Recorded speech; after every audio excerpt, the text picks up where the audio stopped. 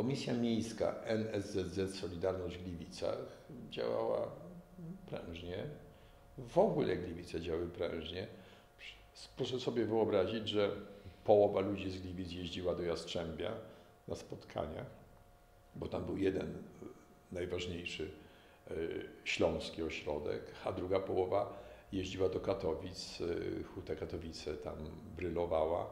E, my podzieliliśmy się jako miasta, co nam nie przeszkadzało, żeby na jednych i na drugich spotkaniach no, grać pierwszoplanową rolę. To naprawdę był bardzo silny ośrodek opozycyjny. My mówiliśmy w naszym towarzystwie w ten sposób, że nie jesteśmy w stanie rozróżnić ci, którzy się znali, bo my znaliśmy się od wielu wielu lat, czasami 15-20. I jeśli mam powiedzieć szczerze, wypiliśmy ze sobą beczkę wódki.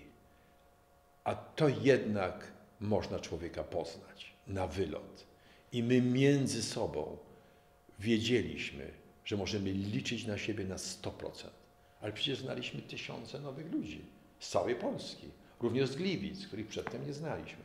Powiedzieliśmy tak, jeśli ktoś dobrze działa, sprawnie działa, nie narusza pewnych zasad, no to traktujemy go jak swego. Nic na to nie poradzimy. Nie jesteśmy w stanie zbadać um, archiwów Służby Bezpieczeństwa.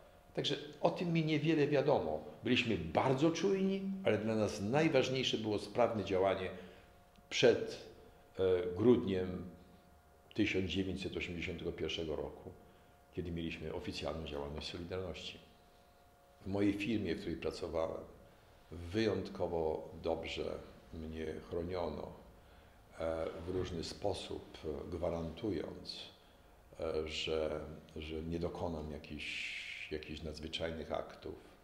E, jak już pojawiałem się w pracy w 1982 roku i pojawiały się mm, emisariusze Służby Bezpieczeństwa, wszyscy byli pewni, żeby mnie przesłuchać, to miałem natychmiast wiadomość i mm, jakimś tylnym wejściem udawałem się na zewnątrz.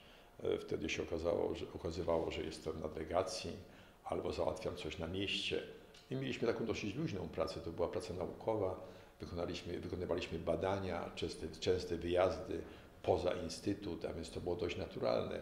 E, można było też nagle mieć urlop, jak coś groziło, e, ale jednak nie uniknąłem tych kilku spotkań w 82 czy 83 roku, właśnie w mojej firmie, kiedy nie udało mi się już e, uciec.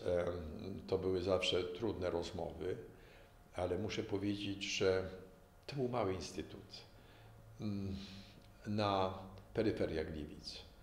E, I myślę, że w takich przypadkach zbyt wiele było tu kopalń, hut, wielkich zakładów, e, w których były, były tysiące ludzi gdzie jakieś strajki, demonstracje byłyby groźne.